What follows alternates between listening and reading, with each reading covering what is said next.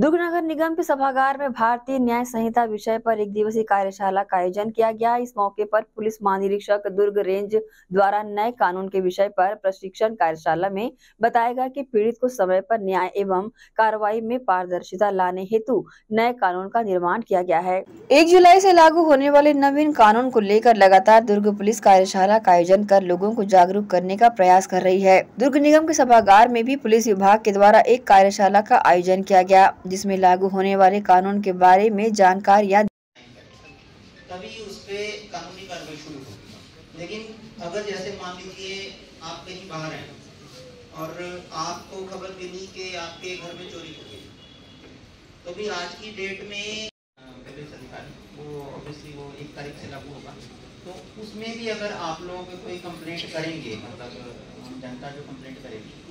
संज्ञान भारत सरकार द्वारा राजपत्र में प्रकाशित तीन नवीन आपराधिक कानून 1 जुलाई 2024 को लागू होने के पहले दुर्ग पुलिस द्वारा विभिन्न कार्यक्रम एवं social media, press, electronic media के माध्यम से आम नागरिकों तक नए कानून के बारे में प्रचार प्रसार किया जा रहा है, जिसके अंतर्गत पुलिस महानिरीक्षक दुर्ग रेंज राम गोपाल गर्ग एवं पुलिस अधीक्षक दुर्ग जितेंद्र शुक्ला के द्वारा नगर पालिका निगम दुर्ग एवं livelihood college sector six Bhilai के सभागृह में एक दिवसीय नवीन भारतीय न्याय संहिता विषय पर कार्यशाला आयोजित की गई। वो जानना बहुत ज़रूरी है खास करके इन प्रावधानों का जो अभी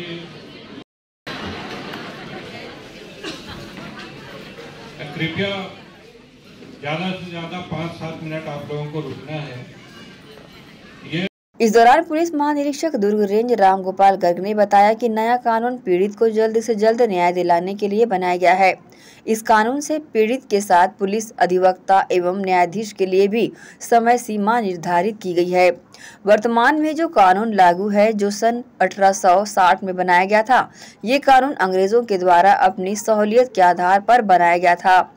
वहीं नए कानून में महिला संबंधी अपराध की विवेचना महिला अधिकारी ही करेगी। साथ ही संपत्ति जब्ती, सर्च, सीज की वीडियोग्राफी करना अनिवार्य होगा। इस कानून के लागू होने से अपराधियों में जल्द एवं निश्चित सजा होने के डर से वे अपराध करने से डरेंगे। इस नए कानून में आप कहीं से भी ईमेल के माध्यम से एफआईआर दर्ज करा सकते हैं, परंतु तीन दिन के भीतर आपको संबंधित थाना पहुंचकर हस्ताक्षर करना अनिवार्य होगा। इस मौके पर यहाँ पहुँचे अन्य अधिकारियों ने अपनी बातें रखी। देखिए, जैसा कि आपको ज्ञात है कि 1 जुलाई 2024 से भारतीय न्याय संहिता, भारतीय नागरिक सुरक्षा संहिता और भारतीय साक्ष्य अधिनियम। ये जो तीन नए कानून हैं ये लागू होने जा रहे हैं। तो इसमें जो प्रावधान हैं, उनके बारे में आज एक कार्यशाला आयोजन की गया था नगर निगम के टाउन हॉल में, जिसमें कि विभिन्न विभागों के अधिकारी, कर्मचारी और साथ में स्वयं सहायता समूह की महिलाएँ और गणमान्य नागरिकगण, स्कूल और कॉलेज के बच्चे उपस्थित थे। तो उनको नए कानूनों में क्या क्या प्रावधान हैं, जिससे कि वो अफेक्ट होंगे, जिससे कि उनको सुविधा मिलेगी, उसके बारे में बताया गया। इसमें सबसे खास बात ये है कि जो दंड से न्याय की ओर ये कानून बढ़ रहे हैं तो उसमें विक्टम सेंट्रिक अप्रोच के साथ इन कानूनों को बनाया गया नहीं, बिल्कुल, जैसे इन कानूनों में इन बहुत सारी चीज़ों में समय सीमा निर्धारित की गई है। उतनी समय सीमा में चाहे वो इन्वेस्टिगेशन कंप्लीट करने का हो, चाहे वो डेथ के लिए फैसला सुनाने का हो, विभिन्न जो स्टेप्स रहते हैं न्याय मिलने के, उनमें समय सीमा निर्धारित की गई है। साथ ही साथ पुलिस की अकाउंटेबिलिटी के में भी इसमें बढ़ाई गई है। जैसे कि ज़ीरो एफआईआर का कंसेप्ट है, ई एफआईआर लाई गई है। और साथ में ऑडियो वीडियो रिकॉर्डिंग करना कंपल्सरी कुछ केसेस में किया गया।